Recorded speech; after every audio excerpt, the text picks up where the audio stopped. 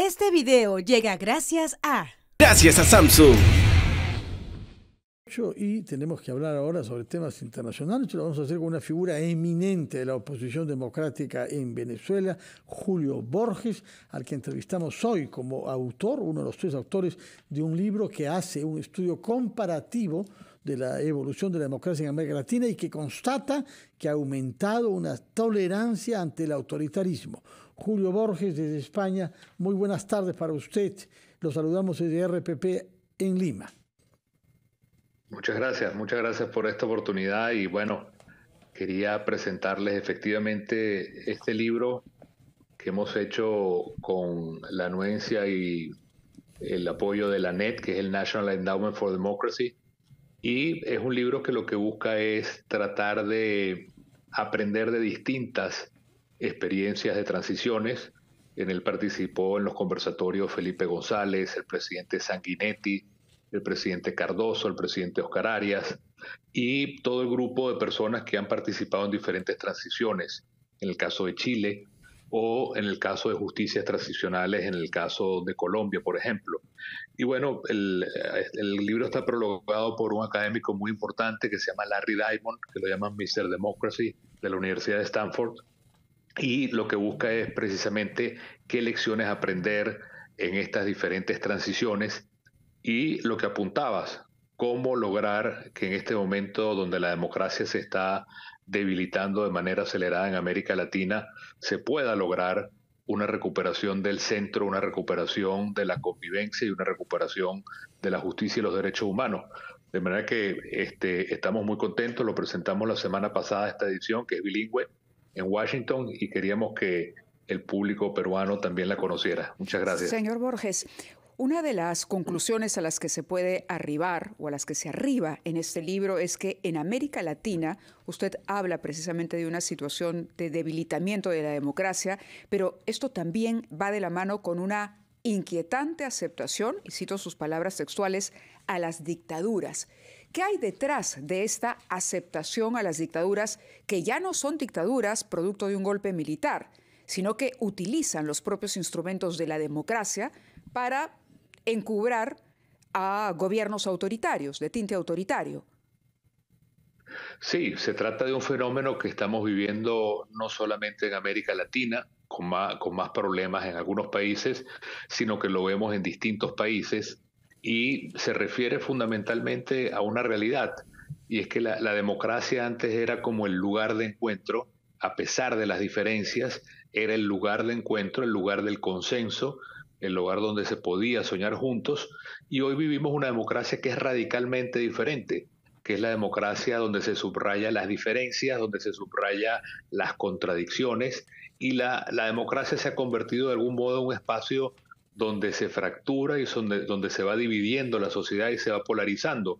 Eso es un cambio cualitativo enorme que ha vivido la democracia en los distintos países y lo vemos ahora palpable tanto en países desarrollados como los Estados Unidos, o como lo está viviendo España en Europa, o la mayoría de los países latinoamericanos, llegando a casos radicales, por ejemplo, como Nicaragua, por supuesto, el caso doloroso de Venezuela, y este, cómo eso es una enfermedad contagiosa que Bolivia la está presenciando también.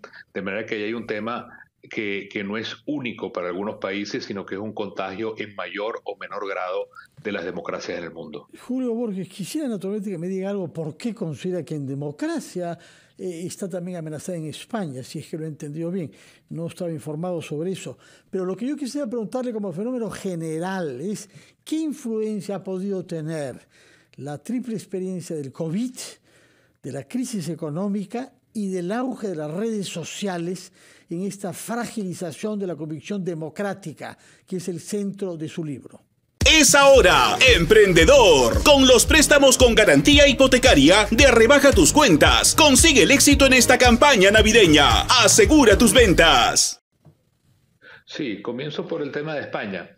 España lo pongo como un ejemplo adicional y real de un país en el cual se ha fracturado completamente ese centro, ese lugar de encuentro, que es el lugar más importante, aunque es pequeño, es el lugar más importante de la democracia, porque quienes piensan no solamente distintos, sino incluso quienes piensan de manera hasta contraria en los distintos países, sin embargo pueden eh, estar presentes en ese pequeño centro democrático donde por encima las ideologías o las posiciones hay unas razones en las cuales se puede de alguna manera remar juntos hacia propósitos de Estado.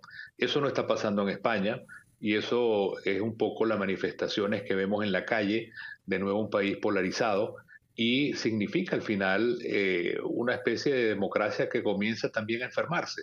Ahora, esa, esa triple, eh, digamos, eh, elementos que menciona, también creo que han jugado un papel muy importante en la democracia, sobre todo en la región latinoamericana.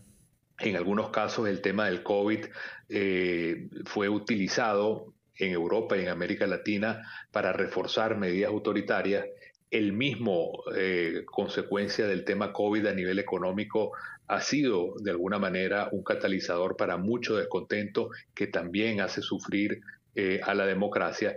Y luego lo, que vemos ahora de alguna manera que hay cierta permisividad hacia todo lo que significa el, el autoritarismo y las redes sociales de alguna manera son una expresión que aunque es absolutamente plural y democrática, hacen que la gente también se desentienda un poco de los proyectos comunes, porque muchas veces la red es atomización, es subjetivismo, es una especie de atomización personalista, pero no, no construye muchas veces ese elemento colectivo que es esencial en las democracias, sino que cada quien vive a su manera y muy separado de los demás lo que es los proyectos colectivos, que es parte de lo que antes se fortalecían con movimientos políticos o con claro, partidos políticos. Ahora se vive, los partidos políticos, claro, integraban y ahorita las redes más bien, eh, para bien en algunas cosas y para mal en otras, más bien desintegran de alguna manera esos proyectos colectivos. ¿En qué está fallando el sistema de partidos políticos para poder contrarrestar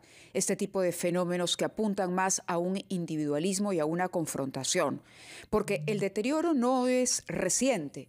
Es decir, nosotros vemos, por ejemplo, lo que ha ocurrido en el Perú. En el Perú llevamos ya varias décadas antes incluso del el COVID, con un problema para la consolidación y el fortalecimiento de los partidos. Cada vez son más débiles, cada vez están constituidos por más personas que se reclutan a último minuto antes que asociadas o vinculadas por un pensamiento o una visión de país común.